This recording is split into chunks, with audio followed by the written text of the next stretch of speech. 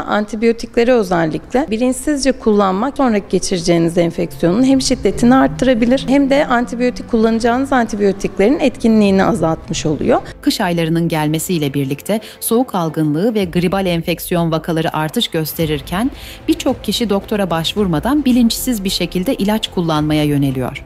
Ancak bu durum sağlık üzerinde daha büyük riskler doğurabiliyor. Her grip ilacı her hastaya veya her kişiye uygun olmayabiliyor. Eczacı Betül Zabun Kenger bu konuda önemli uyarılarda bulunarak yanlış ilaç kullanımının hem kısa vadede hem de uzun vadede ciddi sağlık sorunlarına neden olabileceğine dikkat çekti. Öncelikle mevsim gereği e, tabii ki çok fazla ilaç ihtiyacımız artmaya başladı. Gribal enfeksiyonlar, bakteriyel enfeksiyonlar çoğaldı. Bunlarla birlikte alerjik enfeksiyonlarda da çoğalmalar var. Zaman zaman e, rüzgar özellikle çok yükseldiği zamanlarda. Dolayısıyla bunların hepsi bir araya geldiğinde zaman zaman teşhisler karışabiliyor. Özellikle biz evde kendi başımıza teşhis koymak istediğimizde basit bir grip geçiriyorum. Hemen evdeki ilk antibiyotiği alayım diye düşünebiliyoruz.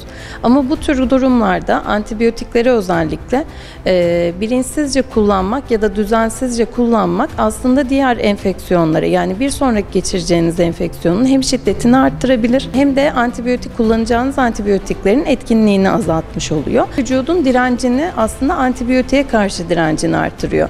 Biz halbuki tam tersi bakteriye veya virüse karşı direncimizin artmasını istiyoruz. Dolayısıyla bunları kullanırken e, özellikle antibiyotiklerde akılcı antibiyotik kullanımı dediğimiz kısma çok dikkat etmek gerekiyor. Eczacı Betül Zabun Kenger, özellikle antibiyotiklerin bilinçsiz şekilde kullanılmasının ciddi tehlikeler yaratabileceğini belirtti. Zaten Sağlık Bakanlığımız bunu yasaklayarak yani antibiyotik reçetelenmesini e, sadece hekim kontrolünde verilebileceğini sınırlandırarak eczanelerden reçetesiz hiçbir şekilde antibiyotik teslim alamıyorsunuz. E, bunlara dikkat ederek yani evdeki yarım kalan antibiyotik dahi olsa bir sonraki enfeksiyonunuzda kullanmamak gerekiyor. Öncelikle gidip teşhisimizi alıp antibiyotik kullanımı veya antiviral kullanımı uygun mu bunlara bakmak gerekiyor. Eczacı Kenger, grip ilaçlarının kullanımı konusunda özellikle kalp, tansiyon, kolesterol gibi kronik rahatsızlıkları olan hastalarda bilinçsiz ilaç kullanımına karşı ekstra dikkatli olunması gerektiğini vurguladı. E, grip ilaçlarında özellikle kalp, tansiyon, kolesterol ilacı olan e, hastalıkları olan hastalarımızın özellikle dikkat etmesi gerekiyor. E, mutlaka ve mutlaka e, eczacınıza ve hekiminize danışmanız gerekiyor bu konularda. Her grip ilacı her hastaya veya her kişiye uygun olmayabiliyor.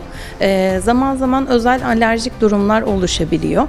Bu alerjik durumlarda da e, bildiğiniz gibi ne bakteriyel bir enfeksiyon ne de viral bir enfeksiyon oluyor aslında. Dolayısıyla bunda kullandığımız ilaçlarda daha farklı versiyonlarda olabiliyor.